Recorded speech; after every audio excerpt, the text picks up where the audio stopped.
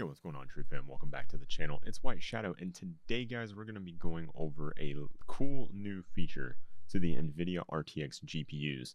So let's go ahead and jump into it.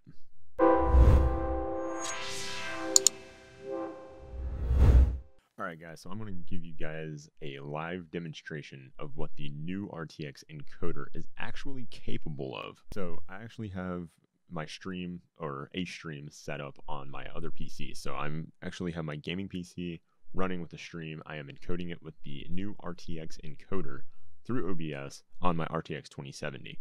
It is currently sitting right around 1.3% on the CPU, and we're going to be testing out Destiny 2 at max settings. So let's go ahead and hop over to the overlay. I want to get everything set up and ready for you guys and um, kind of show you guys what we're looking at when it comes to gaming and streaming off of an RTX GPU on a single PC stream. So let's go ahead and pop over to the actual overlay so you guys can see what I'm talking about. All right, guys, so we're, now we're over on the overlay, and um, what you see here is actually Destiny 2 on my gaming PC. I'm capturing it from my gaming PC, running the stream off of the NVIDIA RTX encoder, and playing the game at the same time. So what we're, and I don't have the frame rates capped or anything like that. So what we're going to do here is we're actually going to run the game in a very intensive setting. I'm going to try to get as much action on screen as humanly possible. And I've got the frame rate in the top corner. You see this little green little lettering right here, or numbering, I should say.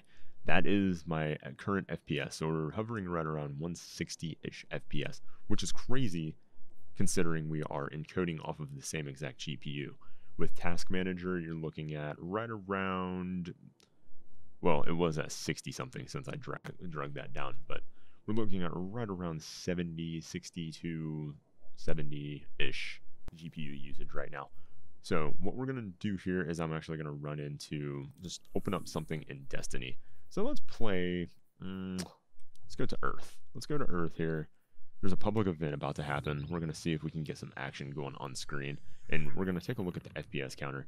You're probably going to see it drop down a little bit below 100, but we're trying to stay above 60 FPS. That's the key here, because most of the time when you're gaming and streaming off of the same GPU, you see your FPS drop well below that 60 FPS threshold, and it starts to get a little glitchy on screen for your viewers. So right now, not seeing any glitches, it's using those tensor cores on the RTX GPU to do the encoding. Let's go ahead and jump into some stuff here and see how this is looking.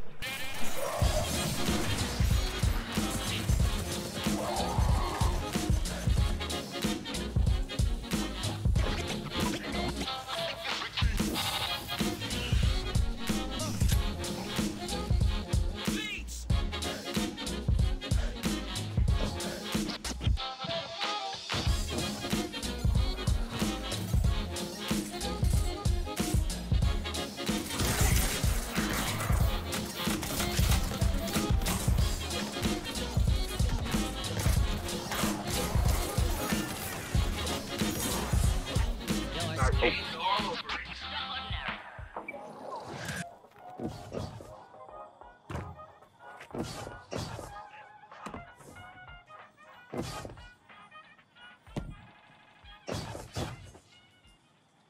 we remain, so in OBS, I'm going to look at OBS here. Let me go ahead and drag this down so you guys can see what we're talking about.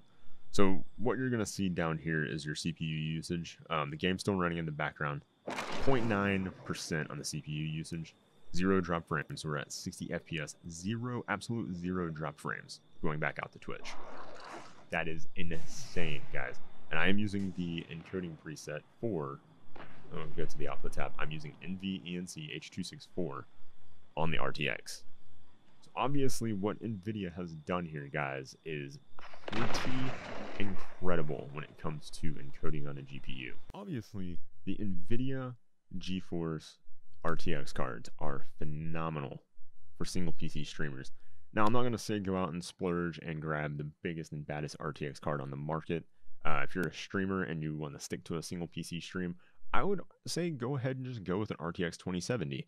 You could go with an RTX 2060 even, but don't expect to be getting the frame rates that I'm getting here because the GPU on the core on the RTX 2060 isn't as good as the 2070. Now, I'm going to say this single PC stream is not going to delete the existence of a dual PC stream, but our technology is getting there and it's getting better each and every day. And I'm happy to say that if you have an RTX card, like I do, the RTX 2070, those tensor cores that are on the card are going to be able to encode a stream. It's technically a co-processor for the actual GPU of the card itself to handle AI, ray tracing, uh, DLSS, all, all of the new technologies that these companies are coming out with. I will say that it is impressive to see how well my NVIDIA's kind of co-processor can handle encoding a stream. And I didn't see any dropped frames. I, we didn't see any dropped frames during the little test that I did there. And it was it was truly impressive to be able to do that off of a single PC stream and have my CPU usage literally below 1% via OBS. I was watching the CPU usage up above on the task manager and it never pegged above 20%.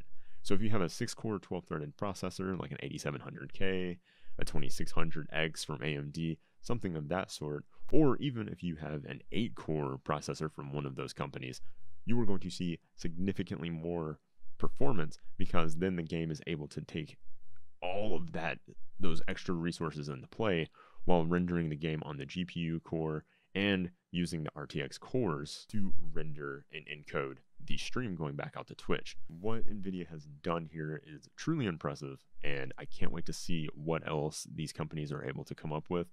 I would love to get my hands on an AMD card to test if theirs, because you know you guys know the Radeon is saying the Radeon 7, they are saying that is a content creator's card. If it's able to provide performance like this, it's very much well worth the $700 that you would shell out to pay for it.